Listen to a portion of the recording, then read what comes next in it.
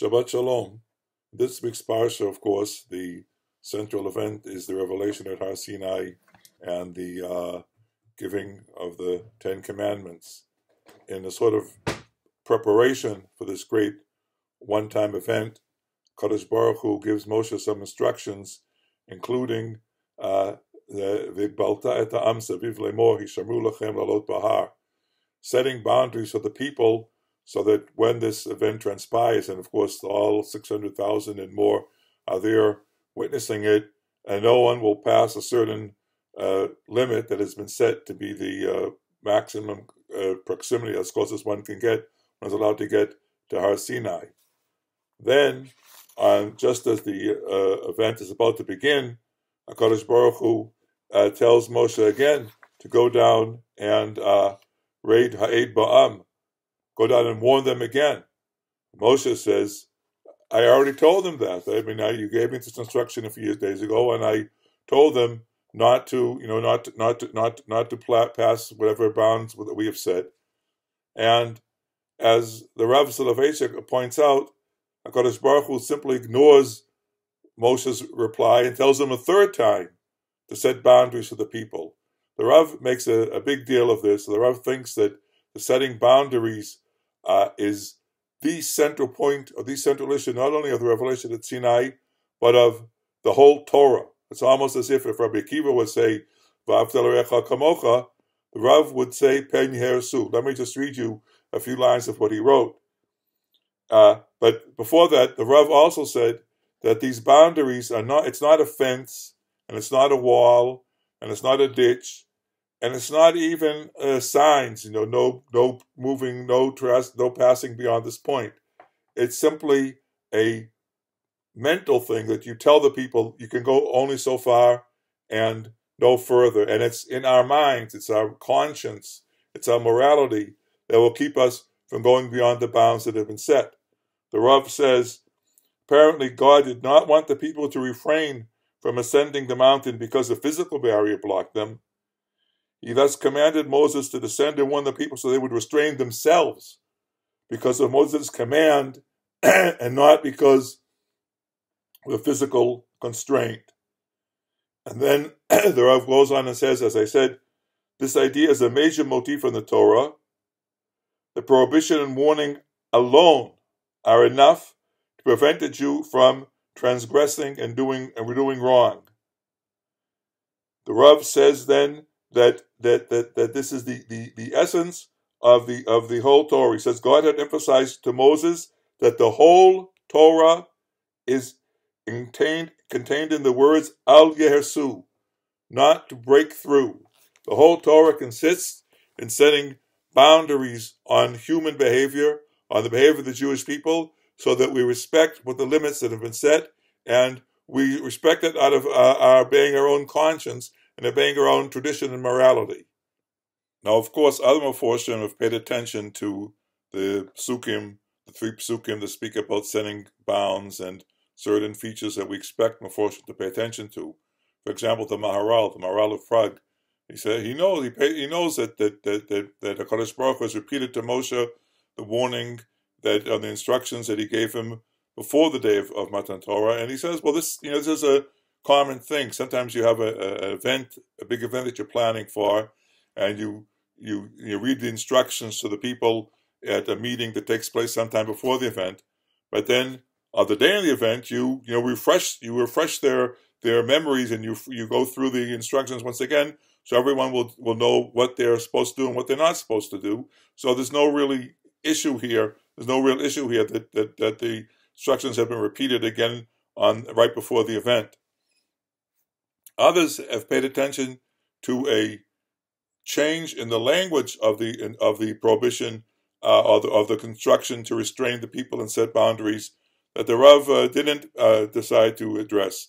The first instruction, the one that Moshe got uh, before, several days before the, the, the, the revelation, said uh, Vigbalta ta'am, set boundaries on the people. But the, the ones that came right before the uh, the event at Har Sinai uh, said, you know, Vegbalt et Har, set boundaries on the mountain. Now, this, and we always have to pay attention even to these small, seemingly uh, uh, you know, minor differences. Uh, and the Netziv, for example, says, well, the first instruction set boundaries on the on the people.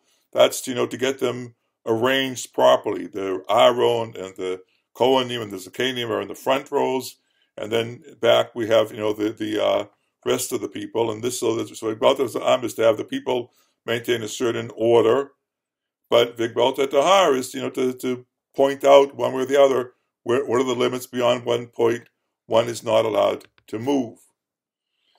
Now on this last point, I want to share with you a very interesting, odd, and as far as I know, not very well known uh, Ibn Ezra on this issue of the change in, in language between Higbalta uh, Tahar, between sending boundaries on the people and sending boundaries on the Har, on the mountain.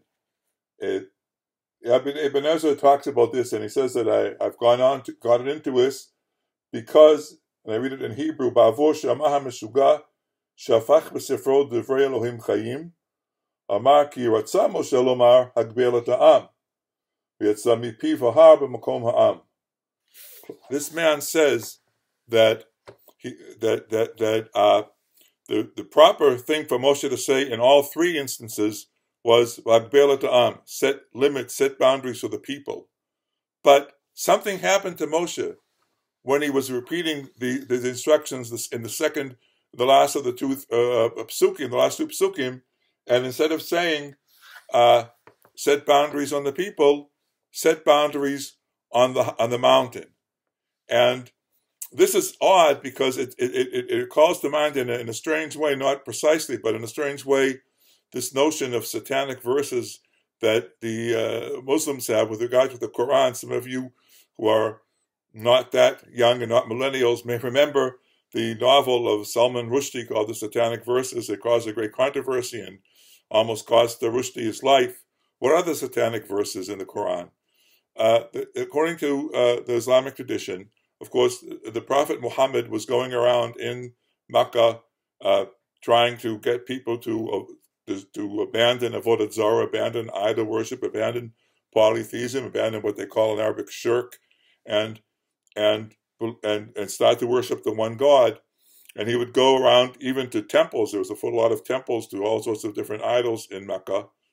But one time, one time, when he entered a temple which was uh, in which the, the idols that, that, that, that the people worshipped were actually uh, swans for some reason. They had, they had, these figurines in the shape of swans. Uh, something happened to the prophet, and the devil got his tongue, as they would say, the, the Iblis, the shaitan, uh, took hold of, of, the prophet's tongue, and instead of uh, denouncing these idols, he praised them. So these are called the satanic verses because Satan or the shaitan or the devil or whatever you want to call Satan, uh, took hold of the prophet's tongue and had him say something he didn't want to say. Now, this is not quite what what this uh, Yitzchak, this this Meshuga, where elsewhere uh, Ibn Ezra calls him uh, uh, Yitzchaki Hamavil. No one really knows who this is. Some sort of uh, you know uh, prototypical biblical critic who went through the Torah and said this this was this should be amended to that, this should be amended to that. So he he said, you know, something happened to Moshe when he was about to tell the people, you know, uh, are about to record the instructions for the God from Hakadosh Baruch Hu, El Hagbel et Am, uh, to set boundaries on the people, and came out, set boundaries on the mountain. This is, a, and Ibn Ezra says, is, you know, total nonsense, and he's gone to some lengths just, just to let us know that we shouldn't pay attention to this type of nonsense and foolishness. And of course, it, it's it's total heresy from the point of view of, of the Rambam, and, and uh, uh, that, that, to think that, that, that anything could have been in, written in the Torah that, that Moshe didn't want to it didn't want to say that it wasn't exactly what the Baruch told him. But the idea itself is interesting. That and it actually fits well with what the Rav said that the boundaries are on the people, not so much on the mountain. Don't forget that according to the Jewish tradition, uh, Mount Sinai was holy l'shata, not latid lavo. At the time of the revelation, Mount Sinai was the holiest place on earth. It was a capital crime to go beyond the boundary point that had been fixed. But after the revelation at Sinai, Mount Sinai became just another geographical geographical feature.